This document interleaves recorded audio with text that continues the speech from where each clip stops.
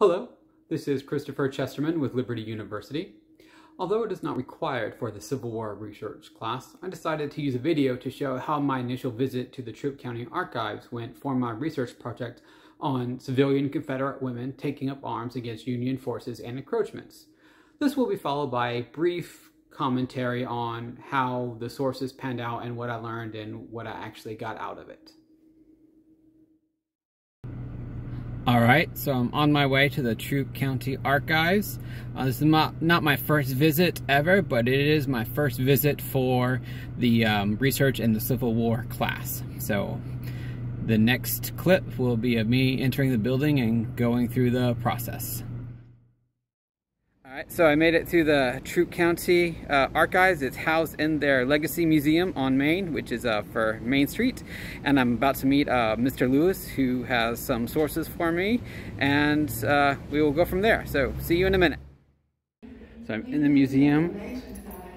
Sorry if it's a little bit wobbly, but I get to go down to the second floor. Any background noise is probably my keys.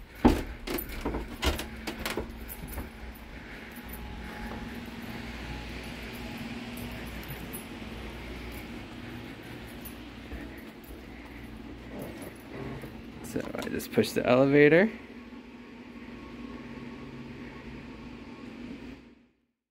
Okay. Hi, I'm Lewis Powell. I am the research archivist here at the Troup County Historical Society. And uh, at the moment, all we have for you is our vertical file on the Nancy Harts. And we're still trying to locate, uh, we do have a manuscript collection that involves the Nancy Harts as well. We're still trying to locate that at the moment.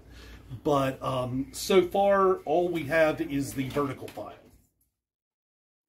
So my visit to the Troup County Archives was extremely productive and successful. The vertical files were basically a historiography of the LaGrange community's interpretation and reinterpretation of the Nancy Hart militia story.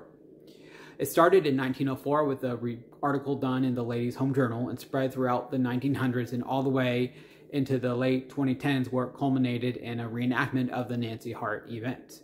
Uh, in the early 2000s, uh, an artist heard about the story and decided to use it as inspiration for his History of America and depicted the event as he understood it. The main issue surrounding the Nancy Hart militia story is its accuracy, because all of it comes from a single source, a speech done by a former member, Lila C. Pullen, who later married and became Lila C. Morris, and that was over 30 years after the end of the Civil War.